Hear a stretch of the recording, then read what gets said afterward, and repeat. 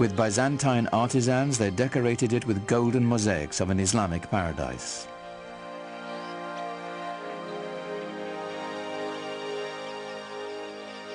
The Great Mosque of Damascus would become a model for new mosques to come, all across the empire.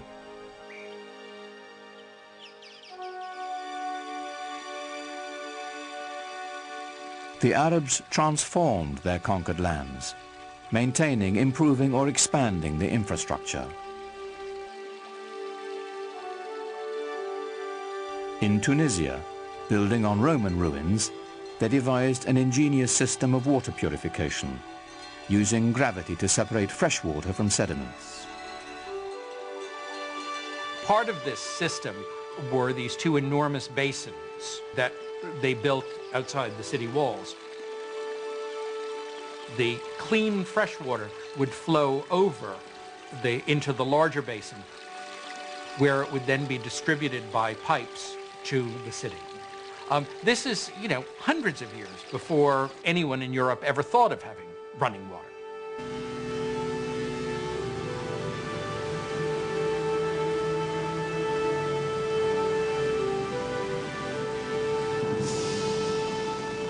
All over you find schemes for bringing water from the mountains where there was more water to the plains where there might be less water.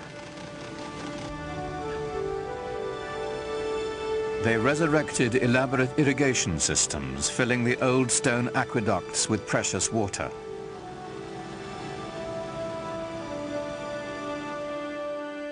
Agriculture flourished as life-giving staples like wheat were introduced to the Mediterranean region.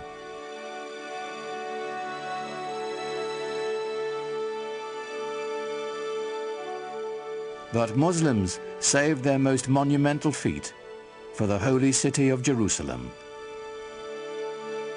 Islam's first great work of art is the Dome of the Rock.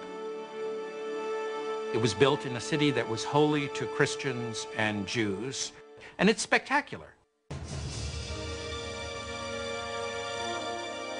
Like Mecca and the Kaaba, the significance of this holy site goes back to Abraham, for the rock within is said to be the place he nearly sacrificed his son. It was built to rival the nearby Church of the Holy Sepulchre, where Jesus was said to have been buried. What's extraordinary about the Dome of the Rock is how perfect it is. People revered this site as some place that was holy to Abraham and to Isaac. Imagine, if you will, these new guys coming in and taking over this piece of prime real estate and building a new building for a new religion that sits on top of a mountain and sparkles and glitters in the sunlight for everyone to see. This is not something that a fly-by-night. This is something big and important. Islam has come to stay. In just a hundred